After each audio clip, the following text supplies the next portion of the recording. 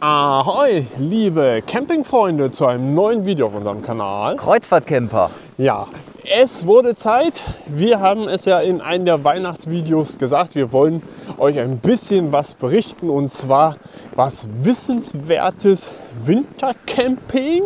Genau, was man so machen kann, was, man, was wir machen vor allen Dingen, äh, mit welchem Equipment wir unterwegs sind. Äh, ich denke, das interessiert auch einige. Und äh, ja, das kommt jetzt alles in dem Video. Ja, und wann geht's los? Nach dem Intro.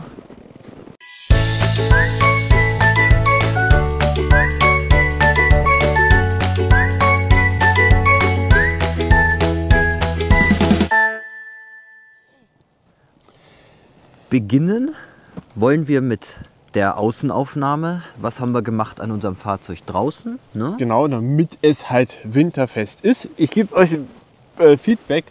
Ähm, wir haben draußen keine Hülle dran. Das haben wir nicht gemacht, Genau. weil wir rausgucken wollen und deshalb machen wir es nicht. Ich kann es nachvollziehen, wenn man an einem längeren Platz irgendwo ist, dass man das macht. Dann macht das auch Sinn, natürlich, alles gut. Oder wenn man einen teilintegrierten, vollintegrierten hat, weil da kann man das so eine extra Garage machen. Hier in so einem Kasten ist alles offen, da holst du die Feuchtigkeit dir echt nur in den Wagen rein. Deshalb haben wir nicht solche Haubutze einfach vorne drauf. Genau. So, und jetzt erklärt euch Stefan, ich glaube, Vorne beginnen wir mit vorne den Scheibenwischern. Mit den Scheibenwischern. Genau. Mit den Schuhen. Jawohl.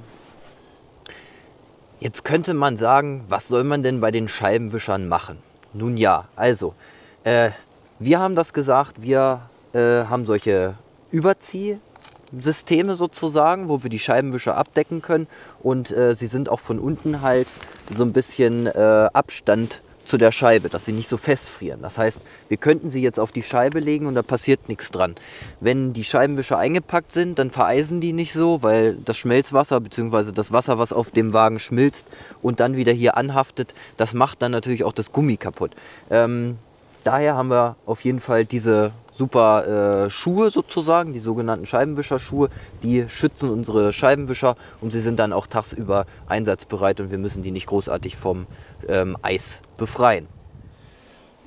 Als zweites Gadget haben wir noch so eine schöne Schippe.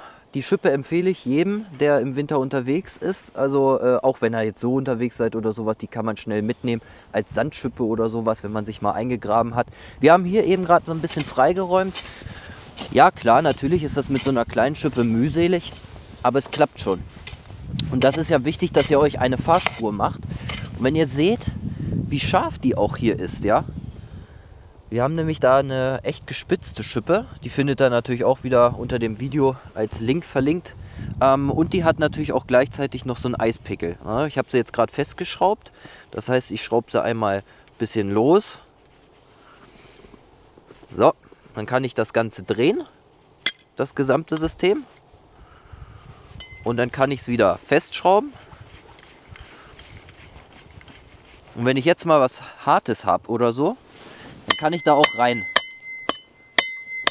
Na, also man kann damit schon noch ganz gut ähm, auch mal Eis äh, und so weiter frei machen. Ansonsten ist die sehr klein verpackt. Das Packmaß zeigen wir euch gleich mal nochmal eingeblendet. Das fotografiere ich einfach einmal, ähm, wie das dann aussieht. Und äh, ja, genau. Das finde ich ja lustig. Das heißt, theoretisch könnte er mit dieser Schippe da morgens um 8 die Leute aufwecken, indem er einfach auf den Stein klopft. Bing, bing, bing, bing. Genau. Steine werden hier geklopft, ja. Aber- Richtig, könnte ich. Junge, du hast eins für draußen noch vergessen. Ich glaube, du musst noch mal hinten an den Kofferraum ran. Ja? So ein Besen, Besen, sei es Ah, gewesen. der Besen, der ist natürlich auch noch wichtig. Sehr, Den sehr zeigen wir wichtig. euch auch noch gleich. Hier seht ihr nochmal das Packmaß. Jetzt habe ich es doch einfach einmal zusammengepackt. Ähm, so einfach ist das, klein, handlich und kann dann schnell mal weggepackt werden. Ansonsten haben wir natürlich noch einen Besen. Der Besen, da hast du den Vorteil, dass du den auch umstellen kannst, damit du auf dem Dach auch dran kommst, um den Schnee zu befreien. Das ist mit Einrastfunktion und teleskopierbar. Das Ganze hat zwei Teleskopierungen. Ähm, ja, geht dann sozusagen auch äh, die Möglichkeit auf 3,30 Meter, glaube ich, insgesamt. Und so kommt er überall oben auch vernünftig dran und könnt auch das Auto dort schön vom Eis und Schnee befreien. Zu den Reifen können wir euch sagen, da sind wir hier im Winter in Norwegen sehr gut äh, mit bisher zurechtgekommen. Haben wir die Ganzjahresreifen von Michelin und zwar die Agilis Cross Climate. Ähm, wir haben die Standardgröße von dem Ducato, das heißt, das ist 225 75 R16C. Und ähm, ja, Traglast, glaube ich, liegen wir bei äh, tau- äh, 116, 118 oder sowas sind die angegeben. Ähm, das sind die extra für die, für die Transporterreifen. Mittlerweile soll wohl ein neuer Reifen auf dem Markt sein, der extra für Camper äh, entwickelt wurde, also auch Agiles und Cross Climate, allerdings mit einem Camperzeichen dahinter oder Camper extra für die Camper ausgerüstet. Und wenn wir wirklich nicht mehr weiterkommen, haben wir noch die von äh, P. Wag, ähm, die Service äh, SUV Schneeketten dabei. Brauchten wir hier bisher noch nicht, ähm, haben wir bisher noch nicht gehabt, aber dabei haben ist besser als ähm, nicht dabei haben und sie dann brauchen. Ja, Straßenverhältnisse hier in Norwegen ähm, sind Eis und Schnee auf der Fahrbahn und damit kommen diese Reifen wunderbar klar. Ähm, auch noch bei Steigung von 10% war es kein Problem, in ein Skigebiet zu fahren.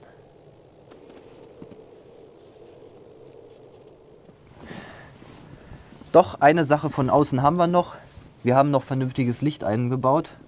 Ähm, wir haben nicht diese, ich sag mal, ganzen Strahler, die man da alle äh, kriegen kann für die Camper, sondern wir haben die normalen Osram äh, H7 Birnen eingebaut, sowohl für Abblendlicht als auch für Fernlicht, was Also für die beides zugelassen ist. Nightbreaker, die LED Nightbreaker. Weil Genau. du sagst jetzt nur Hallo, wenn du nur H7 sagst, könnte Ja, stimmt, man hast recht. denken, die normalen. Nein. Also, Genau. Aber da habt ihr genug Videos von gesehen. Und die sind top, auch hier bei den Witter Witterungsverhältnissen. Und Lichtverhältnissen. Ne? Genau, also auch im Dunkeln in Norwegen null Problem. Super Sache. So, und jetzt gehen wir rein, denn eigentlich war es ja mal der Plan, wir wollen euch jetzt zeigen, wie wir es drinnen mollig warm machen. Das heißt, ihr musstet jetzt ein bisschen aushalten, ne? aber wer lange aushält, wird jetzt auch bedient. Wir gehen nämlich jetzt rein, denn da ist warm. Genau, also ab geht's. Jawohl, jetzt wollen wir euch natürlich noch erklären, was wir denn hier drinnen gemacht haben. Ähm, Zwei Socken angezogen. zwei Socken angezogen, genau. Nein, wir haben erstmal uns äh, Gedanken darüber gemacht, ähm, wie kommt hier eigentlich die Kälte rein. Und zwar hauptsächlich ist das, haben wir zumindest so festgestellt, von vorne. So, jetzt kann man natürlich sagen, gut, man kann ja draußen eine Haube aufmachen, hast du gesagt. Wollen, wir wir, nicht. aber nicht, weil wir auch rausgucken wollen. Also haben wir uns überlegt, wir legen einfach hier eine ordentliche Decke drüber. Die ist ungefähr so dick. Das ist also Und eine Die hat, das ist eine coole Decke. Sie hat nämlich hier so ein weicheres Zeug, so eine Art Vlies. Genau, und, Und- auf der anderen Seite ist es so ein bisschen rauer, sag ich Ja. mal, genau. Und äh, die kann man auch zum Kissen zusammen machen. Also das ist so ein zwei, äh, ein guter Zweck sozusagen für beides. Ne? Ähm, was haben wir gemacht? Wir haben es einmal komplett über die vordere äh, Armaturenbrett rübergelegt und vorne hinten haben wir dann im Prinzip an den, ähm, an den Jalousien unten An an dieser Plä- Stange, Plaisie. an den Plaisie-Stange, haben wir dann mit äh, Wäscheklammern, die einfach mit vier Wäsche Wäscheklammern einmal in jeder Ecke und dann auf dem Weg nochmal jeweils mit einer Klammer befestigt, so dass sie nicht mehr runterfallen kann. Genau, wir hatten es erst immer nur so draufgelegt, aber dann rutscht es runter. Genau. Das hält enorm viel Wärme, also Kälte ab. Das bringt richtig was. Wenn das jetzt Wärme abhält, dann klatsche ich dir. Ja. Ich brauche es warm. ja, ja. Nein, das hält wirklich viel äh, Kälte ab. Und ähm, dann haben wir noch als zweite Sache, weil wir wollen ja dann zusehen, dass die Scheiben so ein bisschen zirkulieren können, das können sie ja dann auch, ähm, haben wir solche Vorhänge gebaut. Ja, hier sieht man es aber besser auf der Seite. Ja, oder da. Ja, Genau. das- Diese Vorhänge, den haben wir im Prinzip an der einen Seite eingehängt. Und dann sind wir im Prinzip oben an, die, ähm, an den ja? Nothaltegriff. Nothaltegriff, ja, ich weiß auch nicht, wie es jetzt gerade richtig heißt. Und hier vorne an die, ähm, an die ähm, Sonnenblende ran. Ja, der nächste geht dann an die Sonnenblende wieder und hier vorne verbinden sie sich schon. So, jetzt könnte man natürlich das hier vorne mit auch Wäscheklammern zusammensetzen, weil die andere Seite kommt ja dann auch dazu. So machen wir es auch. So machen wir es auch. Allerdings haben äh, meine Eltern äh, eine gute Sache, weil die haben nämlich Druckknöpfe dort äh, eingesetzt. Und diese Druckknöpfe, also besser gesagt habe ich sie eingesetzt, aber diese Druckknöpfe, die werden wir wahrscheinlich hier auch nochmal nachrüsten, vermute ich. Dann kann man die gleich zusammenklicken, dann ist das viel einfacher. Ja, und das bringt schon wirklich sehr, sehr viel. Also wenn ihr da die Kälte dann raushalten wollt, dann ähm, macht das so. Und äh, Beschlagen der Fensterscheiben, ja, unten morgens so viel ungefähr, aber nicht so, wie man das kennt, mit triefendem Wasser. Das nicht, sondern einfach nur, nur beschlagen. So, und dann äh, ist gut. Das war's. Also ansonsten gibt es da keine weiteren Probleme. Das bringt auf jeden Fall eine ganze Menge, was die Kälte hier vorne betrifft.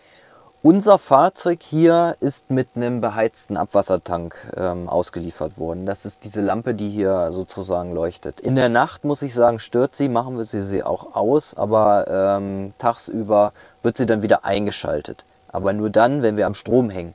Wenn wir nicht am Strom hängen, gibt es eigentlich wenig Probleme.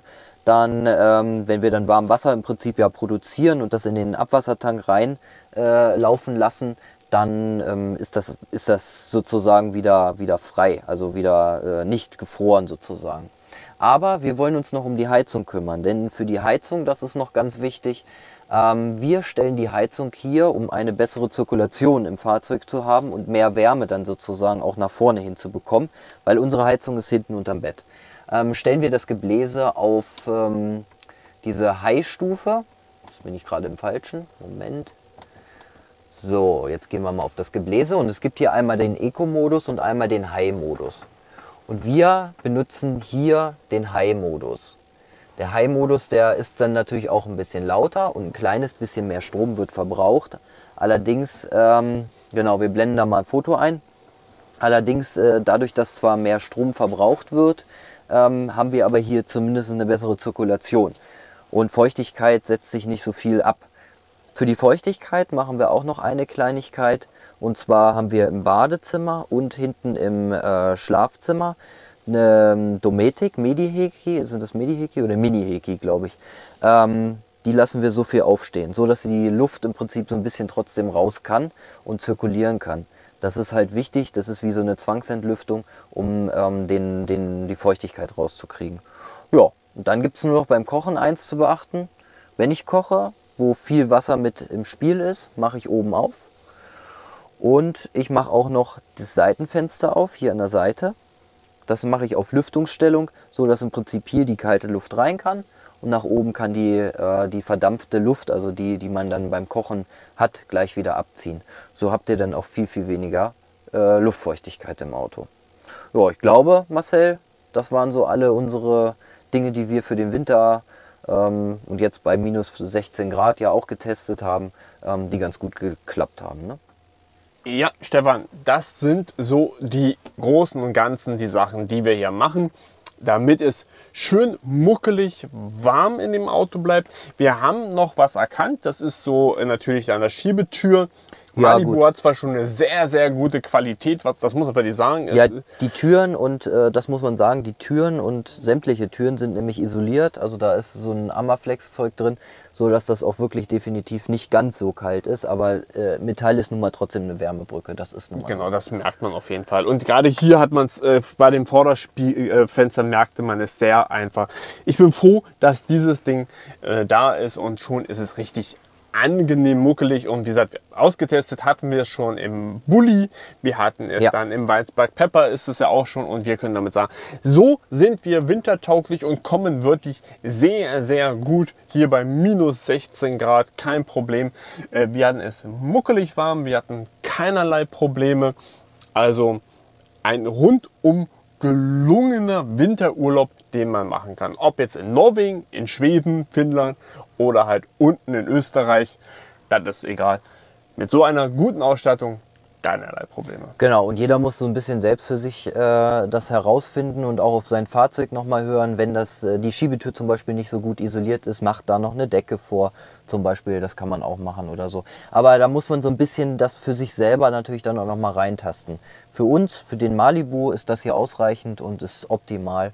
Und so werden wir auch weiter unseren Wintercamping erleben. Hast du fertig? Ich habe fertig. Woran erinnert uns das nur? ich weiß gar nicht. In diesem Sinne, bleibt warm, bleibt gesund, ja. bleibt uns gewogen. Und dann sehen wir uns schon bald wieder bei einem neuen Video auf unserem Kanal. Kreuzfahrtcamper. Ciao, ciao. Tschüss.